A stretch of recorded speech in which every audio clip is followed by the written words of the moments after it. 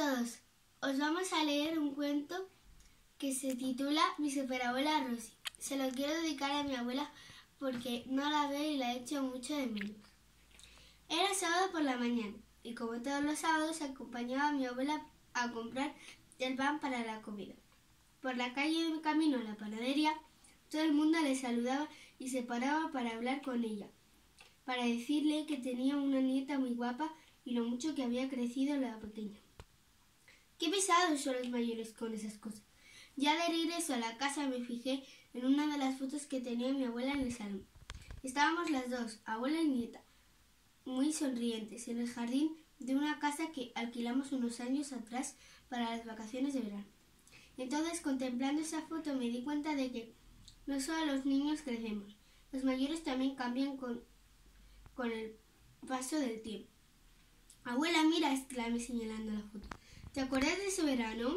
Claro que lo recuerdo, fue hace unos cinco años, cuando tú eras aún pequeñaja. Mira qué carita de ratoncilla tenías.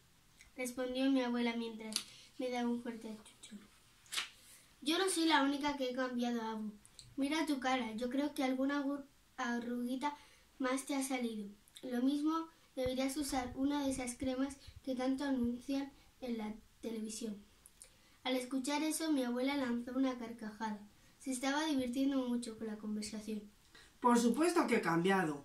¿O creías que solo los niños podéis hacerlo? Pero a las abuelitas no nos merece la pena echarnos esas cremas, porque estamos muy orgullosas de nuestras arrugas. Que sepas que a mí me pareces una abuela súper guapa. Pero sin esas arruguitas yo creo que hasta podría ser modelo, dije yo, mientras imaginaba a mi abuela desfilando por una pasarela. A ella le entró tal ataque de risa que hasta se le saltaron las lágrimas. Cuando al fin consiguió calmarse, me dio un besazo y dijo Pero qué ideas tienes, cariño. Yo creo que no sabes muy bien la edad que tengo realmente. De todas maneras, no me desharía de mis arrugas por nada del mundo. Para mí son un recuerdo de cada día que he vivido.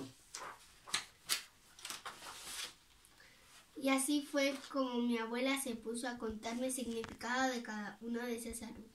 Una le salió el año que nació mi mamá otra cuando yo empecé el col, aquella de allí cuando me eligieron para ser protagonista en una obra de teatro infantil y así un montón de historias más. Todas eran recuerdos de momentos preciosos. Ahora entiendo por qué no se quiere deshacer de ellas. Son como un álbum de fotos que siempre lleva consigo. ¡Oh, abuela, qué envidia! Has vivido un montón de buenos momentos. ¡Achus! Y estornudé sin tan siquiera poder terminar la frase. Mientras lo hacía, noté como una pequeñísima arruga me salía en el entrecejo. ¿La has visto, abuela? exclamé señalándola.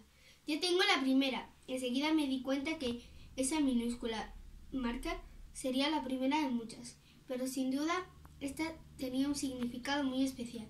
Me acerqué al oído de mi abuela y muy bajito le susurré. Esta es la de lo mucho que te quiero, abuela Rosy. Fin. Hasta luego. Adiós.